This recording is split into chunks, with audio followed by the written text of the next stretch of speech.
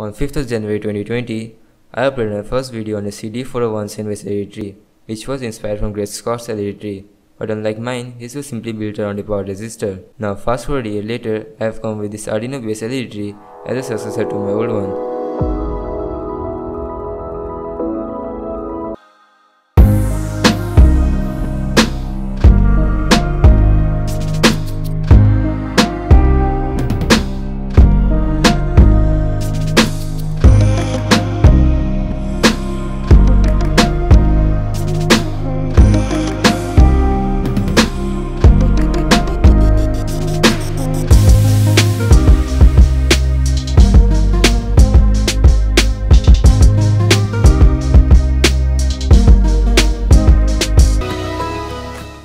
This is run by an Arduino Uno and a pair of shift register.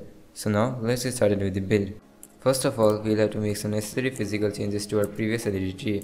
Here I am organizing the LEDs in the bottom two layer by cutting off their cathodes.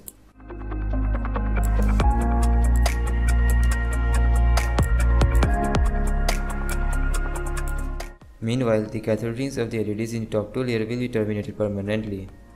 Next I connected 3 30 ohm resistors to the cathode of all the LEDs. Then I soldered wires on the other end and cover them using 2mm heat shrink tubes. Now bring in some male and female headers and connect the other end of the wires to the male headers. The LEDs in the top two layer are connected individually, while they are organized in pairs of 2 in the bottom two layers. Now this was done because I only had 2 shift registers, but if you plan to build this yourself then I highly recommend using 3 shift registers. Now that will produce a smoother animation at the cost of extra wiring. I will now show you the order in which the LEDs are soldered to this tree. First I will connect 5 volts to the common anode of the tree.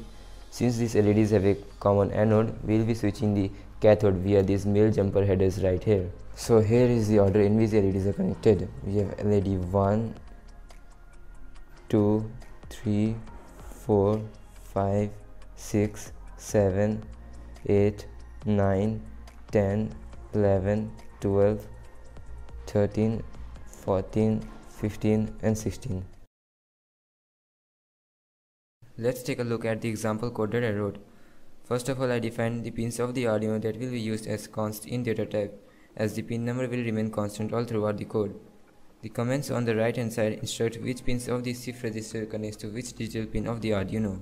The void setup will declare all the previously defined pins as outputs. I wrote this byte array which basically creates the infamous Knight Rider LED effect. The array LED effect is basically a LED moving back and forth. It requires two of these arrays to accomplish this task. You might have noticed there are only 12 variables inside the parentheses rather than 16. That's because in the breadboard setup that I put up together, I am only using 12 outputs of the shift registers. But do keep in mind that in the final code and the setup, I will be utilizing all these 16 outputs. The B in front of the variable stands for byte.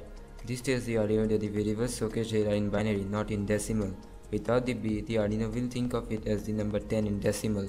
Each bit here represents the state of the output pins of the shift register. For instance, a 0 represents the low state while a 1 represents the high state. In the void loop, we first create a for loop. It is initialized with int i equals 0, with the condition if it's less than or equal to 11. If it's less than 11, we then increment the value of i by 1. Inside the for loop, we first digital write the R clock or shift register clock pin low. Next we use the shift out function of the Arduino which has been specifically designed for driving serial in parallel shift register. With the help of this function, the Arduino sends data into the memory of the shift register in bit by bit format.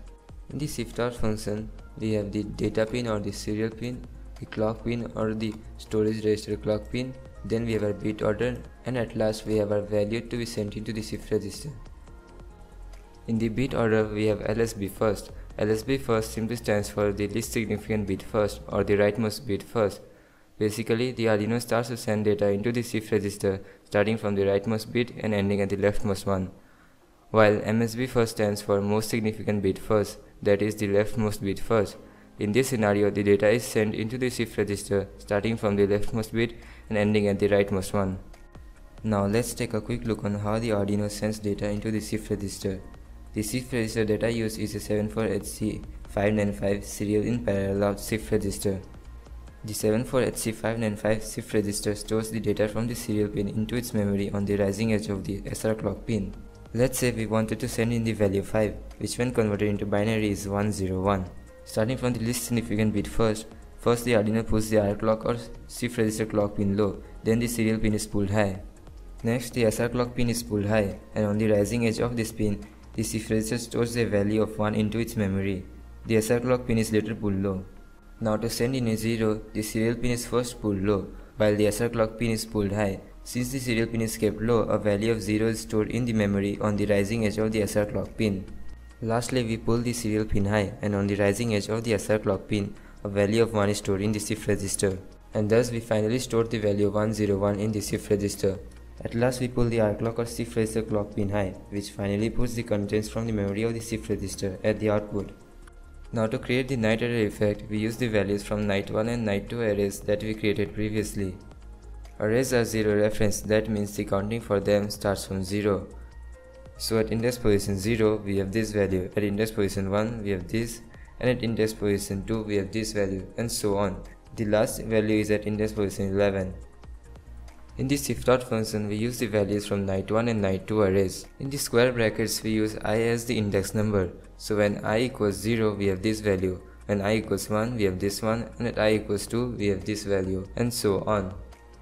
Let's say the index value is 0. So we send this value from night 2 array into the first shift register. Then we send this value from night 1 array into the first shift register. When this happens, the value that was previously in the first shift register will move into the second shift register through the H prime out of the first shift register, while the new value gets stored into the first shift register. Since we use a for loop, we keep repeating these steps, thereby creating the Knight Rider effect. I wrote some more code and created this effect which emulates a moving train. This is how it looks like on a breadboard, and here's what it looks like on the LED tree. At last I created a schematic whose link is in the description below and solder everything on a piece of perf To make all the necessary connections on the perf I use single core breadboard hookup wire. And the nifty thing about this breaker board is that it plugs directly onto the Arduino thereby limiting any extra wires.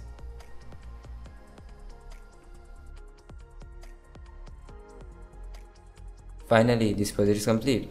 Go check out GreatScott, he makes awesome content. Also, I bought myself a couple of these ATmega8 microcontrollers. So in my next video, I plan to substitute the Arduino Uno with this ATmega8 microcontroller and also add a push button for toggling through the effects manually. Well, if you're interested in those, then consider subscribing and I'll see you